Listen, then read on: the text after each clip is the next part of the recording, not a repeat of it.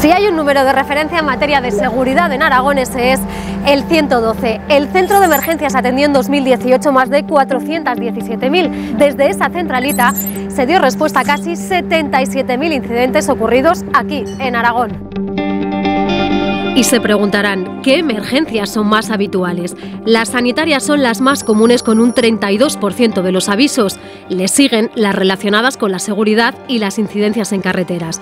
Tras las puertas del 112 Aragón trabaja una treintena de personas. Son profesionales preparados psicológicamente para responder de forma rápida. ¿Saben cuánto tiempo tardan en contestar una llamada? 8 segundos. Aquí en este centro, el último año, en el 2018, se recibieron casi medio millón de llamadas y se gestionaron cerca de 77.000 incidentes. Eh, como podéis ver, eh, cada incidente pues, tiene una media entre 4 y 5 llamadas, lo que eso nos generan. por eso el número de llamadas es muy superior al número de, incidentes. Emergencias Aragón, buenos días. Hola, buenos días, dígame. Es la ciudad de Zaragoza donde más incidentes de manera absoluta gestionamos lo cual no significa que en otras comarcas aragonesas podamos tener unos índices superiores en cuanto a incidentes gestionados por cada mil habitantes.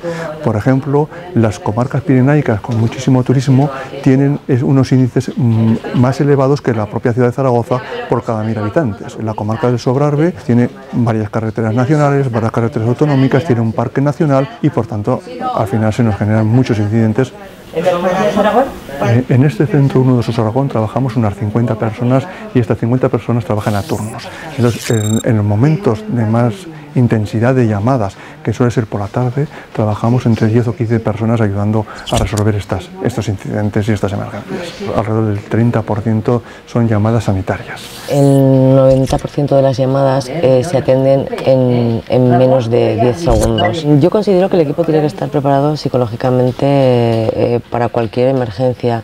A mí personalmente las incidencias con niños eh, intento no llevarlas a casa, pero hay veces en que no puedes evitarlo. Emergencias Aragón, buenos días. Eh, ¿Una lavandería? ¿En qué población? ¿Zaragoza capital? ¿La gente está afuera? Vale, muy bien, pues muchas gracias, vamos a pasar el aviso. Bomberos, dígame. Sí, adelante 112. Un incendio en una lavandería. García Menéndez con Avenida Tenor Fleta. Muy bien, mandamos el servicio para allá. Atención, salida para el Charlie 35, Tango 39, Eco 14 y Alfa 13. Incendio en una lavandería. Llamada,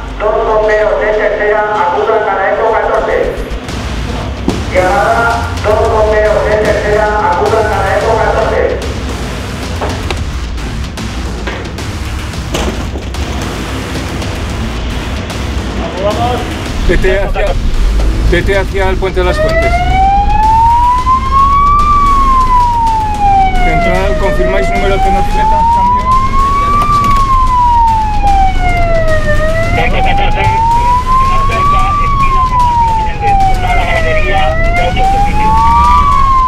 Central, llegada para Eco 14, cambio. Déjala aquí, déjala aquí, ya si acaso te indican. ¿eh?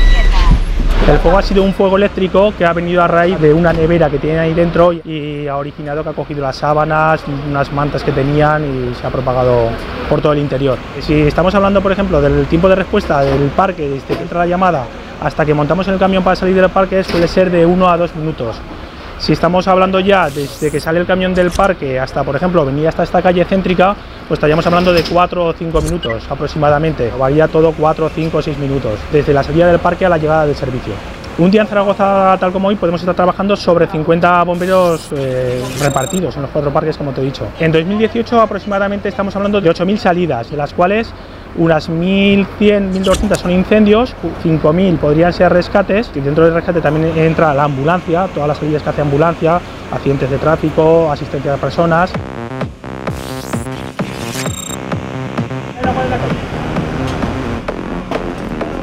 cada vez los edificios se hacen más seguros, más medidas de seguridad y por lo tanto eh, todo eso ha hecho que disminuyan las salidas. Pues las salidas más habituales son incendio de piso, puede ser de un local, de un garaje, Eh, también los rescates, en un rescate de ascensor, un rescate acuático, en una vivienda, una persona que, que no puede salir.